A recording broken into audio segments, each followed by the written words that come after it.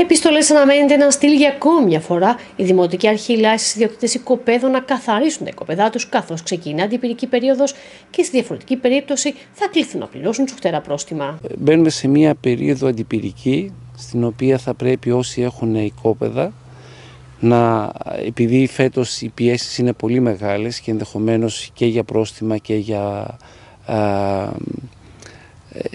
για μεγάλη προστασία του, του, της αντιπυρικής ζώνης θα παρακαλούσα να, να προσπαθήσουν να καθαρίσουν τα οικόπεδά τους γιατί προβλέπεται ένα δύσκολο καλοκαίρι και θα, θα πρέπει να, να διαφυλάξουμε την ασφάλεια των πολιτών κυρίως αυτά που είναι μέσα στον ιστό της πόλης.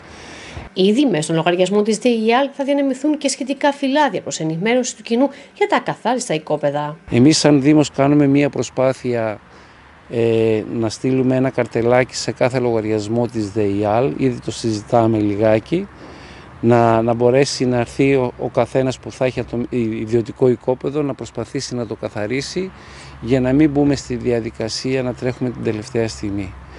Ε, νομίζω ότι αν βοηθήσουμε την πόλη μας και τα λοιπά, όλα τα υπόλοιπα θα, θα αισθανόμαστε πολύ όμορφοι και χαρούμενοι.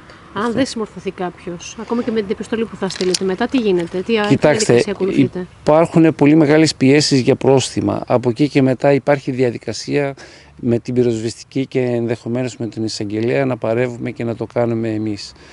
Ε, το σημαντικό είναι ότι αν σε περίπτωση δημιουργηθεί μία φωτιά σε ένα οικόπεδο και, και έχουμε υλικές ζημιές ή και ανθρώπινες ζημιές, ο ιδιοκτήτης θα έχει πολύ μεγάλες ε, ευθύνες σε αυτό το κομμάτι. Τόσο η Δημοτική Αρχή όσο και η Πυροσβεστική καλούν τους ιδιοκτήτες των οικοπαίδων να τα καθαρίσουν πριν γίνουν επικίνδυνα για όλους.